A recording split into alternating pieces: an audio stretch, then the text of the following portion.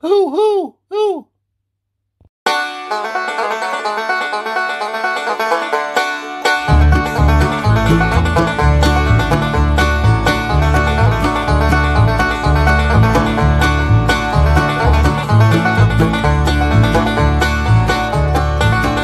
I'm a hillbilly. Hi guys, welcome back to Just Carve Rob. We got our uh, our owl we're going to paint. And uh, he's going to be gray. Going to be gray owl. A little bit chilly out here th this uh, afternoon. So, had to light the fire first. And, uh, yeah. Uh, if you guys have been keeping up with the between me and Jordy, you know he's got that poll thing going on right now for uh, whether he carved the better monster or I carved the better monsters. Well, I did monsters, he did a monster. You know how that is. He did a wall hanger and I did a three or four 3D ones, you know. Uh, ben, over there at Studio on the Lake, if you haven't seen his videos, go over and uh, check them out. Maybe subscribe to him. Nice guy. Funny guy. Well, um, he heard the deal going on between me and Gordy, Jordy there, and, uh, you know, Jordy over at Carbon Fusion. So, uh, Jordy said that if he wins the challenge, he was going to have me carve a fish with a wood spirit head. So Ben, over at Studio on the Lake, uh, wanted to see if it could be done. And Ben, Ben must have a gross amount of basswood over there. Uh, I don't know where he's at. I believe he's in the United States, but I don't know where in the United States.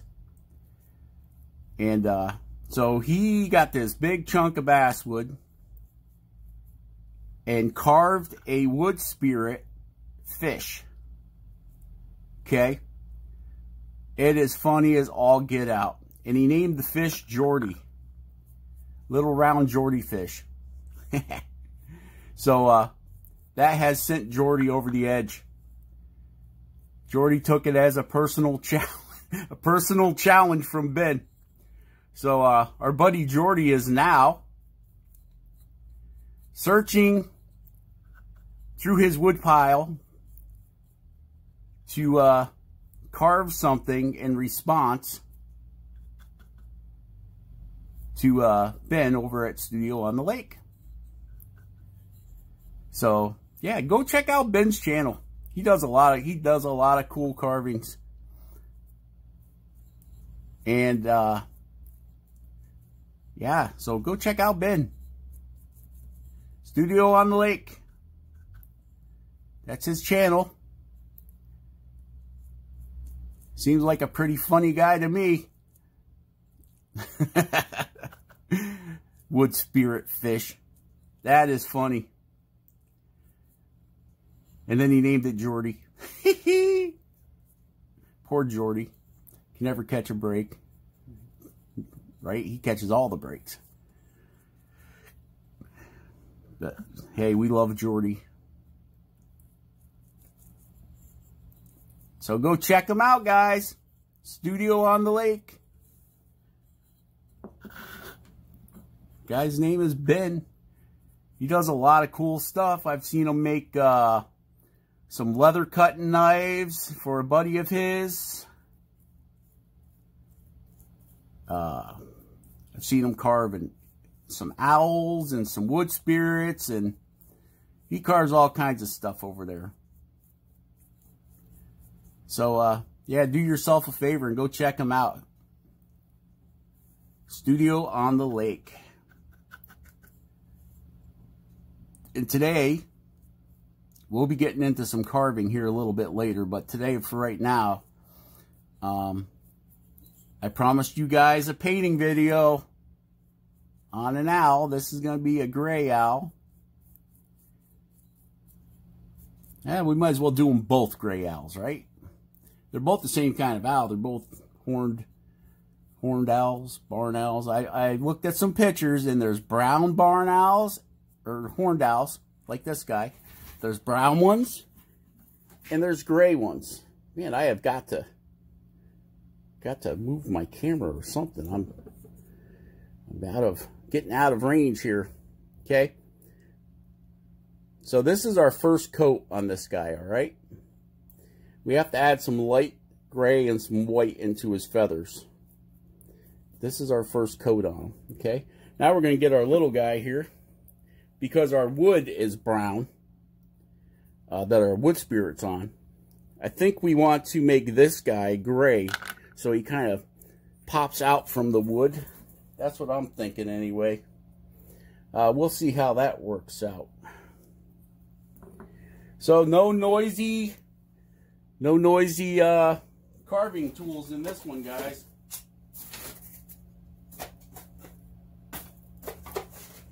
I lost my stick. I got a stick that I put a screw in so that I can uh, paint these guys without getting paint all over my fingers. And apparently I have misplaced my stick. Doggone it. All right, well, I guess we will have to go to...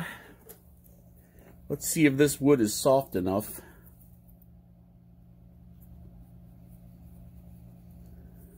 to get, this is a bamboo skewer. You know, like you make your, uh, what do you call them things? You put over the fire. Shish kebabs, there you go. Like you put your shish kebabs on. You guys are still not back far enough. Okay. Well, as long as I don't go beyond the paint tray. As long as I keep them in this blue square here, we should be all right. All right, let's get to it. We'll paint him, we'll paint him gray too.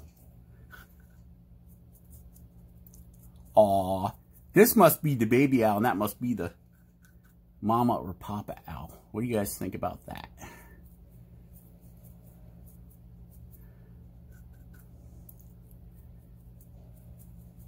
I actually like the way this little owl came out better than the big owl. Well, I don't know. You know, everything changes once you start painting these guys. And uh, with paint on, he's not looking bad over there. I think he's looking pretty good. Yeah.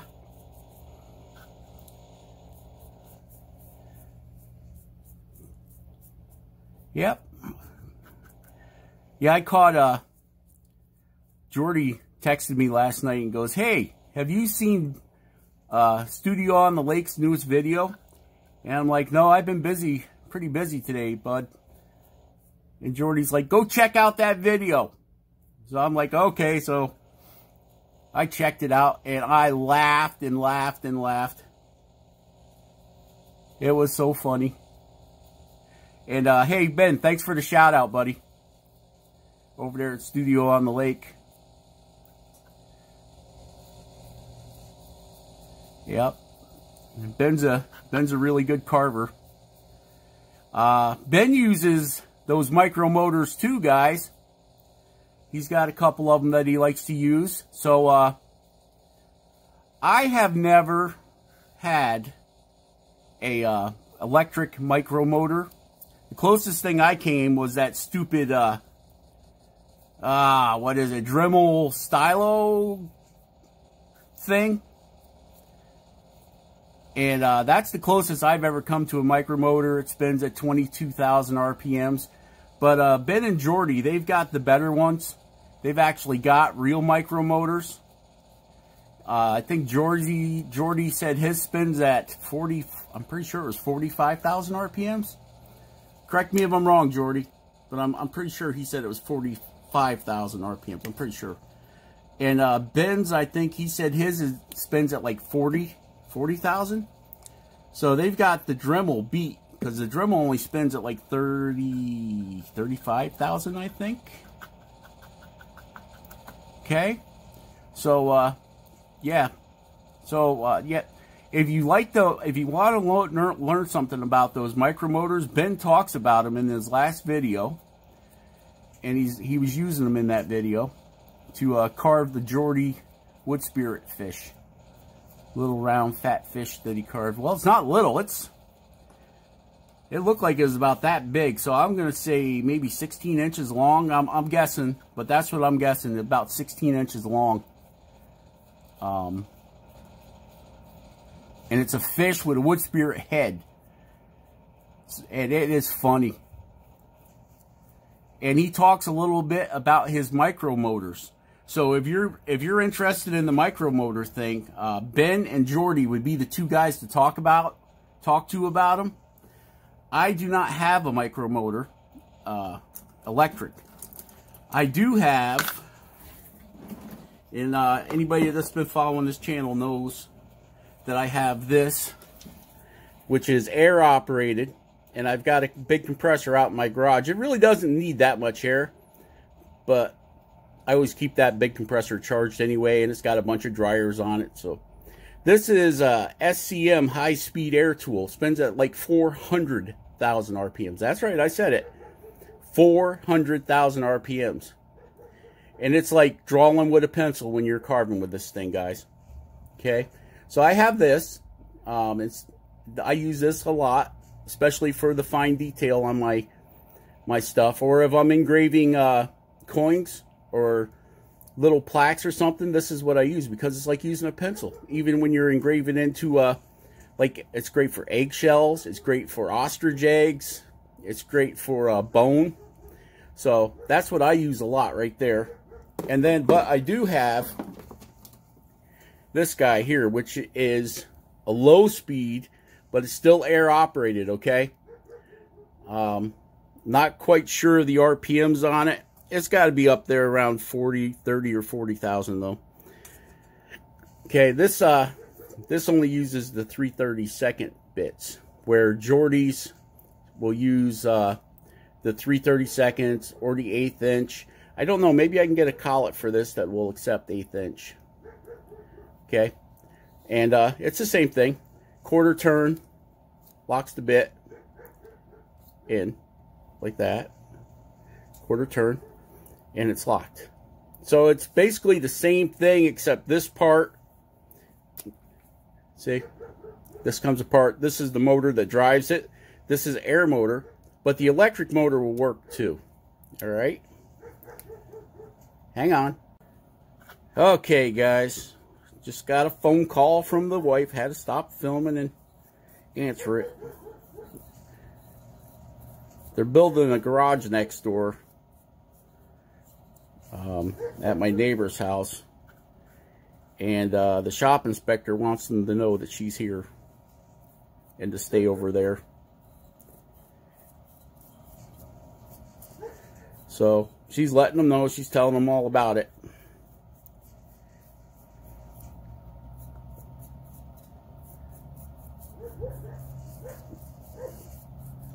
You can hear her out there barking. Oh, sure, Rob. Why don't you just do everything out of focus or out of the film, out of the out of the range of your camera, and then nobody can see what you're doing. And then at the end, it'll be a surprise, right? Well, I don't think they want surprises. I think they want to see what you're doing. So basically, we just painted these two guys gray. Okay. We got our big owl, he's painted gray, and we got our little owl, and he's painted gray. Shut up! Oh, they won't be quiet, these stupid owls. So, um, we're going to have to let them dry for a little bit. Yep. Otherwise, we'll be getting gray in our brown and brown in our gray. So we got to let this guy, got to let this guy dry up a little bit. So we can go ahead and paint him. And we're going to, what we're going to do is we're going to come back um, right now we painted him with, it's called pewter gray. Okay. So we're going to come back with granite gray. Granite gray. And we will do a technique called dry brushing. It's where you put your, um, take your paint and you just dip the tip of your brush in it. And then you uh, wipe most of the paint off of it, right? And then you quick and light, very lightly. And what it does is it catches the tips. It should catch all the tips with that lighter gray color. And then uh, we'll do the tips of his horns. And uh, same thing with that lighter granite gray. And then uh, we'll have to dry brush just the tips around his eyes here. Uh, with the, the granite gray. And then we'll get in there and we will paint his eyes. We paint his eyes with this sunny yellow color. And then we'll put our big black pupils in there. Ooh, I better, better shake this up. It sounds pretty thick. Okay? So, uh, let me let these guys dry off for a little bit. And we'll be right back. Okay? Here we go. Hang on. Okay, guys, looks like he's dry enough to uh, move on to the next stage here of painting this owl. Let's get our paint tray over here. Right there. Get some of this, uh, some of this granite gray. Put it, put in our little cup thing there. All right.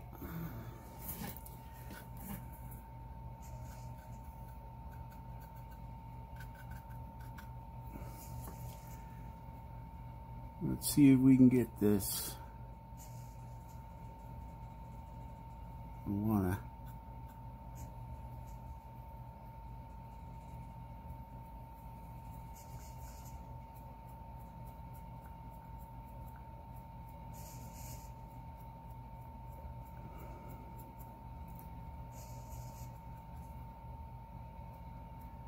Have to water this down a little bit.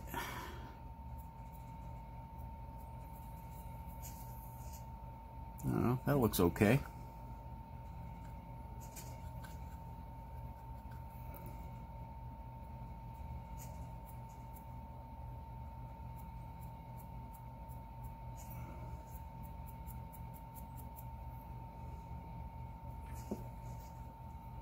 Yeah, I think we're going to put a little water in it. Seems to be a little bit thick.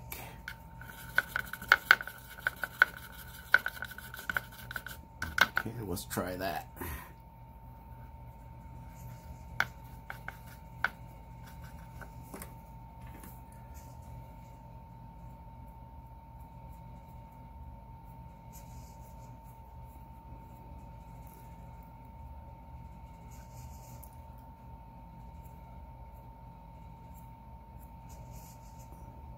That looks good.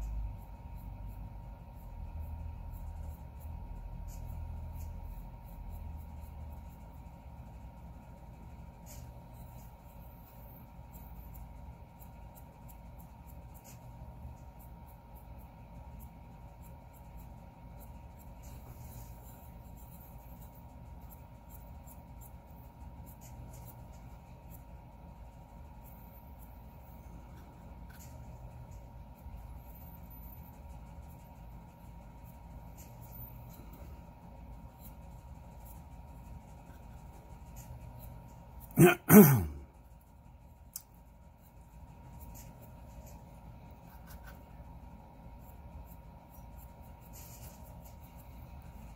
looking pretty good, pretty good.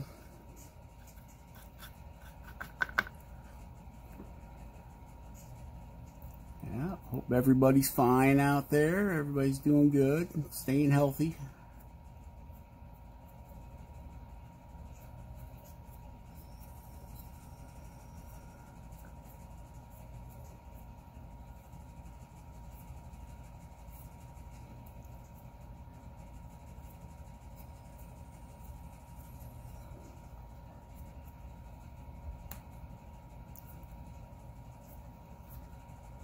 Stay home, stay safe, stay out of them crazy stores.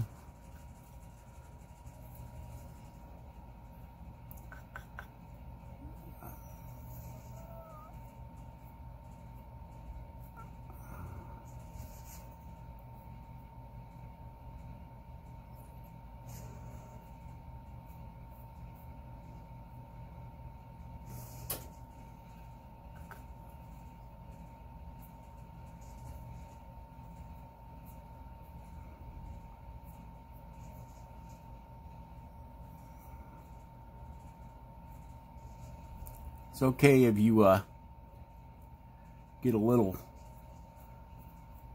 too much around his eyes. You can always go back over it with the darker gray.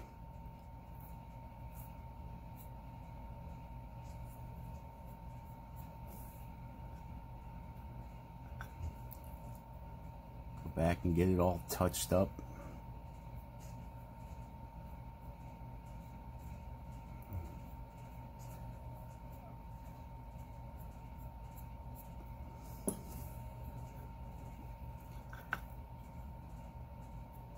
No.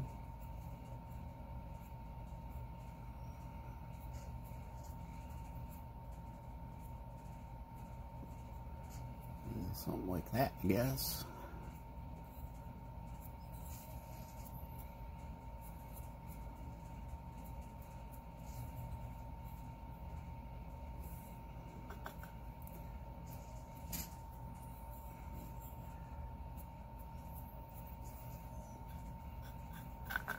You can paint your owl any color you want. Your owl, right?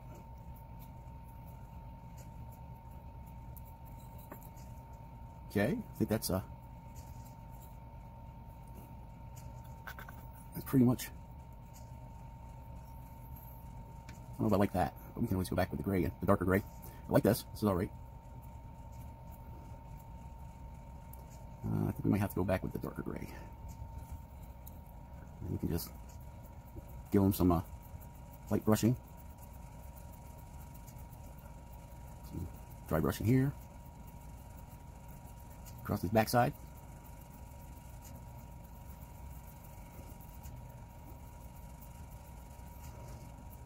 A little more up here on his shoulder.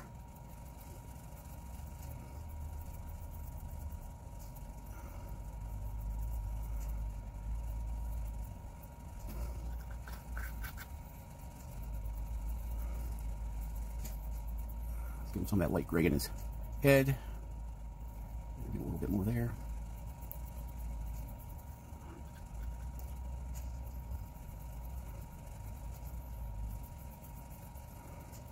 This is all dry brushing, guys. I don't know how good it's going to show up, but that's what we're doing. Whoop, there goes my paintbrush. That's what we're doing here. Just doing some uh, a little dry brushing. Just getting some color, different colors in the mix here. Like, uh, don't forget, you can dry brush the other way too. If you get too much uh, the light gray or light brown, however you're going to paint your owl, you can always come back and dry brush the darker gray back over it. All right, guys, so we're, we're uh, dry brushing the owl. We're getting them all done. Uh, don't forget, if you get too much, too much of your, uh, I guess, highlight color, which for me is the light gray, if you get a little too much on there, you can always go back over it with the darker gray. You can dry brush it the other way too.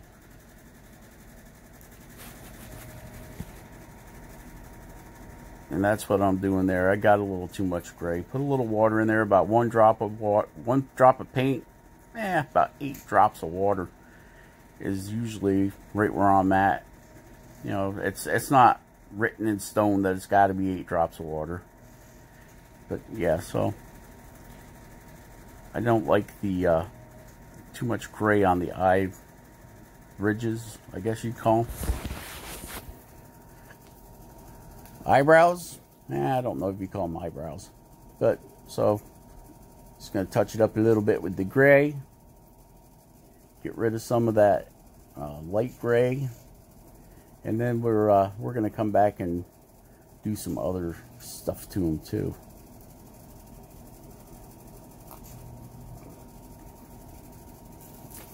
So that's about it for this one, guys. Share, subscribe, like, be awesome, carve something awesome, carve every day if you can, guys. And we will be catching you on the next one. So take care, stay healthy. Bye.